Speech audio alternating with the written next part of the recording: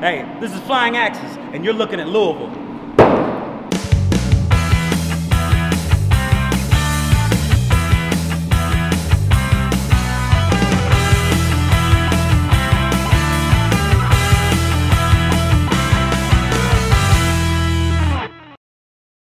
Well, welcome everyone to this edition of Looking at Louisville. Zach is back, and I'm excited to try this really new, cool attraction in downtown Louisville, basically in Nulu, called Flying Axes. You'll see some of the targets behind me. We're gonna throw some axes, and then we're gonna go eat some great pizza, pizza at the Post over in Germantown. I'm sure it's gonna be a great day, and I'm gonna try to keep all these fingers. Let's give it a shot.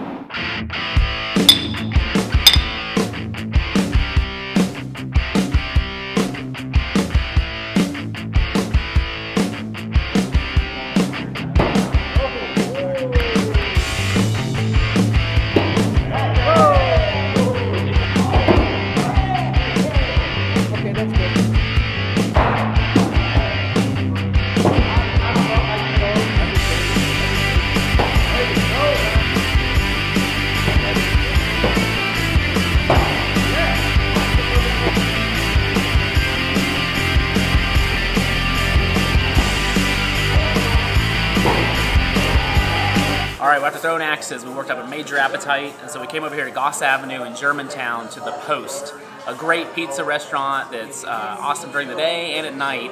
Turns into a great scene here with locals eating just really, really solid New York style pizza, salads, a lot of great appetizers. You'll see we started off with two great appetizers. One was a beer cheese and breadsticks, and the other was a pesto bread.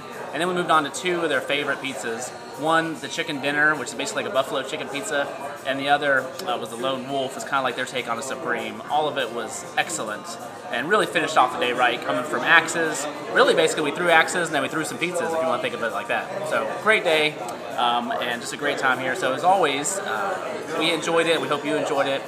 If you have questions or information for us or feedback, please send us an email at feedback at gotolouisville.com. And you can see this episode and tons more at gotolouisville.com and all of our social media on Facebook, YouTube, Twitter, uh, and Instagram. So as always, you're looking at Louisville. We'll see you next time.